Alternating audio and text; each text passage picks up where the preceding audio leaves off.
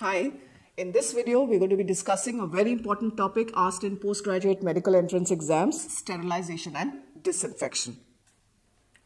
So sterilization is the process of destruction of all forms of life including spores.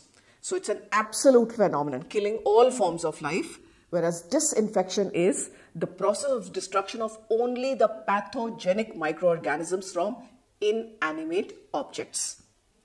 So sterilization is an absolute condition while disinfection is not. Antisepsis is disinfection of live tissues and father of antiseptic surgery is Joseph Lister who introduced phenol during World War for skin antisepsis.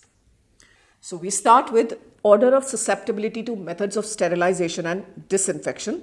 The most resistant are prions followed by bacterial spores followed by cysts of protozoa, followed by non-enveloped viruses, mycobacteria, fungi, gram-positive bacteria, gram-negative bacteria, and the le least resistant are, or rather the most susceptible to methods of sterilization and disinfection are enveloped viruses. So let's start with methods of sterilization and disinfection. First, we come talk about physical methods. Now, physical methods include heat, radiation and filtration. Heat can be used in two forms, dry heat and moist heat. So dry heat, how does it sterilize or disinfect? It denatures proteins, it damages or it brings about oxidative damage and it raises the level of electrolytes to toxic levels. Now dry heat can be used in the following forms, flaming, that is, we can pass slides, cover slips or mouths of test tubes by passing them through the flame a few number of times and thereby disinfect them. Next is red heat that is used for the effective sterilization of articles that can be heated to redness in flame. So we are sterilizing, we, are making the object red hot and thereby sterilizing it. So straight wires, inoculating loops, searing spatulas and tips of forceps can be sterilized by red heat. Next is incinerator. This is the sterilization along with significant reduction in volume for final disposal of infectious hospital waste. So how much reduction in volume are we achieving? It is 80 to 85% reduction in volume. Now, infectious hospital waste which can be put in, in, in an incinerator are animal carcasses, human pathological material, soil beddings and dressings, and cytotoxic drugs. Now, in an incinerator, there are two chambers, a primary and secondary. The primary chamber is maintained at a temperature somewhere around between 650 to 750 degrees Celsius and secondary chamber is maintained somewhere around 1050 to 1100 degree Celsius. Lastly, we move on to the hot air oven using dry heat. This was first introduced by Louis Pasteur and it is used for the effective sterilization of all metallic instruments, whether they be sharp or non-sharp. So forceps, scissors, scalpels, etc. All glassware, test tubes, pipettes, petri plates, etc. Cotton swabs and oils, jellies, powders and waxes. Now that is very important. Oils, jellies, so paraffin oil is sterilized by petroleum jelly. Dusting powders, how they are sterilized? They are sterilized by hot air oven. Now temperature in a hot air oven, most often that is used is 160 degrees Celsius for one hour. But we can also use 150 degrees Celsius for about 2 hours or 170 degrees Celsius for 40 minutes. Now, efficacy of a hot air oven can be sterilized by three methods, physical, chemical or biological. Physical meaning we are putting a temperature chart recorder and reading, reading it at the end of the cycle. Chemical method is using Brown's tube number 3 and biological method is using spores of either Clostridium tetani or using the spores of Bacillus subtilis. So chemical method is Brown's tube number 3 and biological method is spores of Clostridium tetani or spores of Bacillus subtilis. Now moist heat, after dry heat we move on to the moist heat. How does it kill? It denatures and coagulates proteins. Now moist heat can be used in three temperatures below 100, at 100 or above 100 degree Celsius.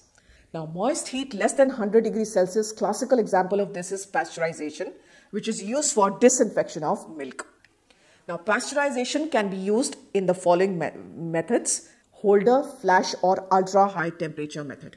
Holder method is when we are using moist heat at 63 degrees Celsius for 30 minutes.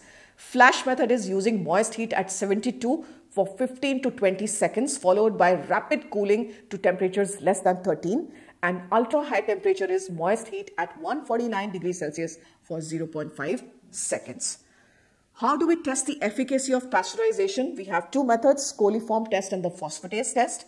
Now in coliform method, what we are doing is we are basically testing for the presence of coliforms like Escherichia coli, Klebsiella and Enterobacter. Now, coliforms, which are normally present in raw milk, are easily destroyed by pasteurization and their presence in pasteurized product usually indicates that it is inadequate pasteurization. So, what we do is we take our pasteurized milk sample and we add it to the MacConkey broth and overnight incubation, we are going to look for presence of acid or gas. So, if coliforms have been effectively destroyed by pasteurization, there should be no acid and gas that should appear in the MacConkey broth. Next test is the phosphatase test. Phosphatase is an enzyme which is normally present in raw milk and it gets inactivated when the proper time and temperatures reach for pasteurization. So in this test what we do is we take our pasteurized milk sample and we add a substrate for the phosphatase enzyme. That substrate is disodium phenyl phosphate. So after 2 hours of incubation, since phosphatase enzyme has already been denatured, there is no change in color of disodium phenyl phosphate because the phosphatase enzyme is missing. So no change in color indicating effective pasteurization. So we get two types of question which is the most common method for testing the efficacy and which is the best method. Best method is the coliform test and most commonly used is an easy to do test which requires just few hours of incubation that is the phosphatase test. Next is serum bath. So sera or body fluids containing coagulable proteins can be sterilized by heating for 1 hour at 56 degrees Celsius in a water bath for several days.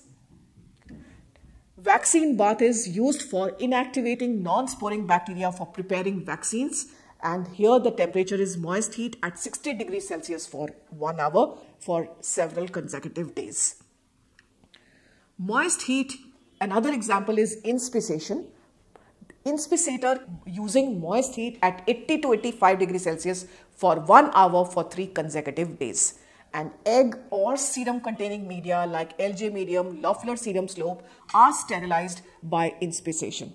For inspissation, the basic principle is the first exposure kills the vegetative forms and when we leave it for the next day, the intervals between that heating is going to lead to germination of the spores which are then killed by subsequent killing. Lastly, we have temperatures, uh, moist heat being used in tyndallization, which is also called as fractional sterilization. Here we are using moist heat at 100 degrees Celsius for 20 minutes for three consecutive days. Tyndallization is done in a Koch and Arnold steam sterilizer and it is used for the sterilization of sugar solutions, gelatin containing media, TCBS, XLD, DCA and selenite F broth that was moist heat at 100 degrees Celsius. Lastly, we have moist heat above 100 degrees Celsius, classical example of which is autoclave.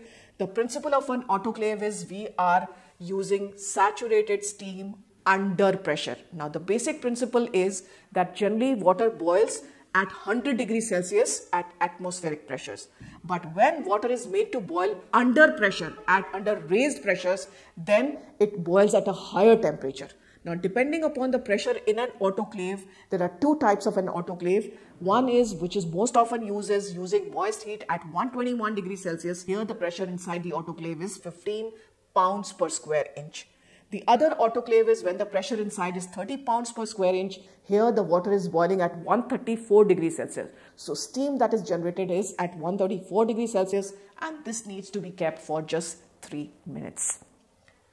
So here is the here are the various components of an autoclave. It's the the vessel is made up of either stainless steel or gunmetal. It has a perforated tray for steam entry. Below the perforated tray, there is a heating element. We are going to add water, which is going to heat the water and generate steam from it. The, the, on the perforated tray, we're going to place all the objects. Then there is a lid with a discharge tap, a pressure gauge and a safety valve. Now work, what is the use of an autoclave? It can be used for sterilization of metallic instruments which are non-sharp, microbiological culture media, plastic containers, pipettes and tubes. Efficacy of an autoclave can be tested by physical method, temperature chart recorder. Chemical method is using Brown's tube number one or we can use Bowie Dick tapes.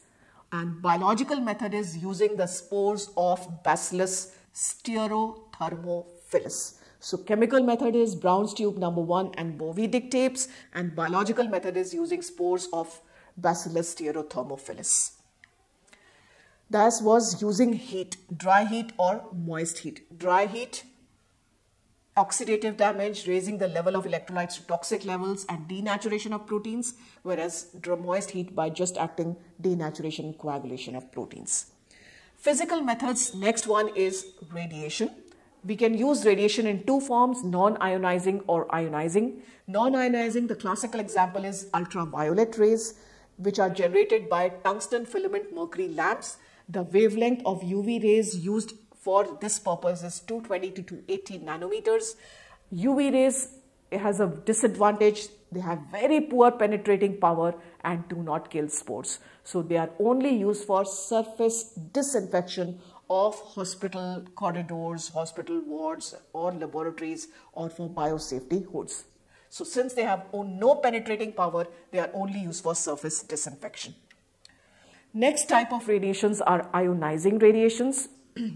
These classical example of this is gamma rays. The use of gamma rays is also called as cold sterilization and these are generated by the nuclear disintegration of radioactive isotopes cobalt or cobalt or cesium. Mechanism of action of gamma rays is by causing DNA damage.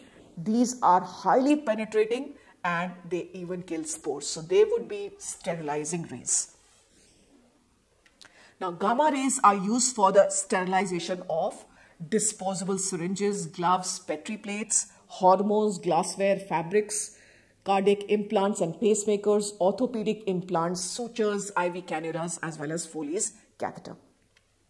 And efficacy testing of gamma radiation is done by spores of Bacillus pumilus.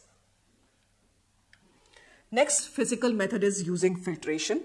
These are used for removing microbes from solutions which are heat sensitive. So serum, antibiotic solutions, sugar solutions, urea solutions and vaccines, when we want to remove the microbes, we are going to use filtration. Now, pore size of standard bacterial filters range from 0.2 to 0.45 microns. So, when we want to just filter out the bacteria from this heat sensitive solution, we are going to use though that pore size. That is the range of bacterial filters. But if it is just asked as a single value, generally standard bacterial filters have a pore size of 0.45 microns. The various types of filters used are earthenware filters which are made up of either porcelain or diatomaceous earth. These are shaped in the form of candles and examples of these include Mandler filters and Pasteur Chamberland filters. Mandler and Pasteur Chamberland filters. Asbestos filters are made up of magnesium trisilicate and these are shaped in the form of discs, examples of which is Seitz filters. Next type of filters are sintered glass filters which are made by fusion of powdered glass. Again they are shaped in the form of discs. And lastly we have most commonly used presently membrane filters which are either made up of cellulose esters or polycarbonate. These membrane filters are of two types depending upon how the pores have been produced in the membrane. Capillary pore where the pores are produced by radiation and labyrinthine pore that is made, here the pores are being made by forced evaporation of solvents. Example of membrane filters are millipore. Presently, these are the most commonly used filters. This is the first part of sterilization and disinfection. That is the physical methods. Thank you.